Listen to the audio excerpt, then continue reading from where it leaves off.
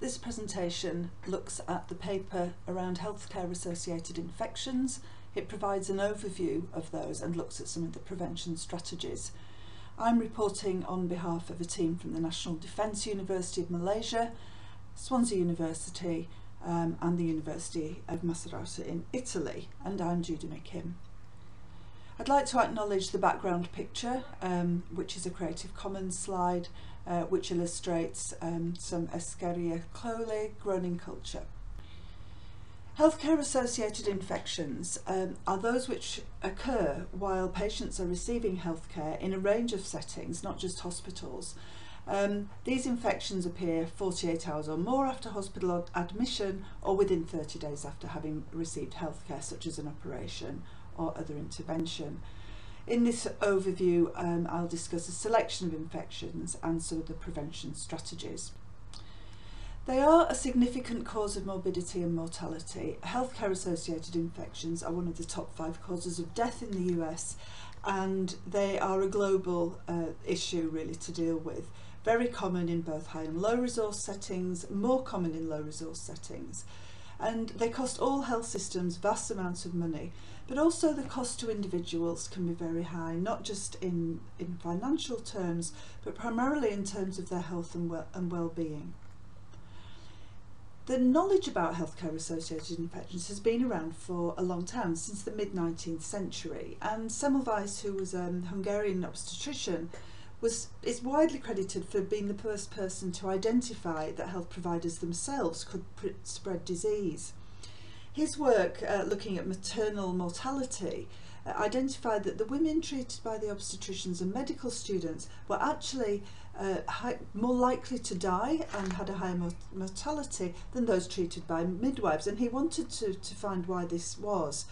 What he found was that this was due to the spread of germs by the doctors and students, which called puerperal sepsis.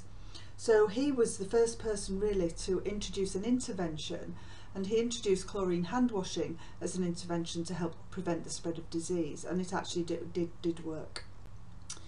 So the prevalence of healthcare associated infections varies around the world, ranging from about 4% to 10% um, of, of patients treated. The rates are higher in low resource settings um, and that's due to a combination of factors. But the causative microorganisms are found in all sorts of areas on the health provider's hands, in their nasal cavities, on their clothing, on floors and other surfaces, particularly on door handles and taps, and also in implants and prostheses. So some patients are more prone to healthcare associated infections than others those undergoing surgery, um, patients with compromised immune responses, um, perhaps older, older people, children, those having implants or prostheses are the most susceptible. And the four that we discuss in the paper are the central line associated bloodstream infections, surgical site infections, catheter associated urinary tract infections and ventilator associated pneumonia.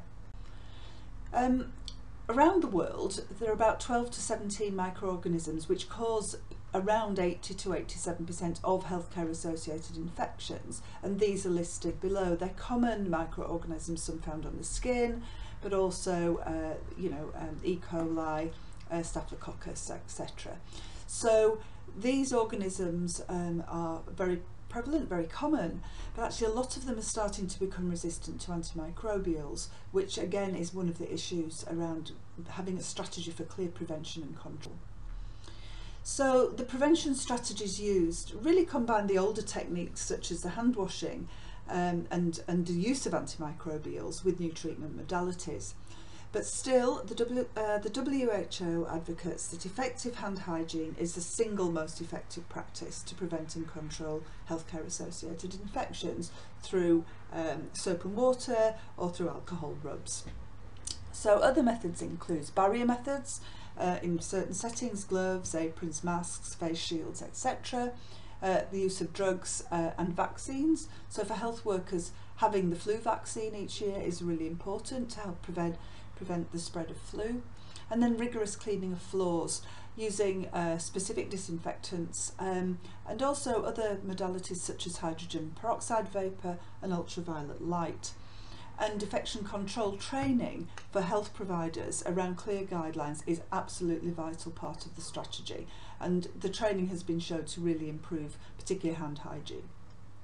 So, in summary, the healthcare associated infections have been known about since the mid 19th century, but they're still one of the highest causes of death in most countries, and they're very needless and they're often preventable.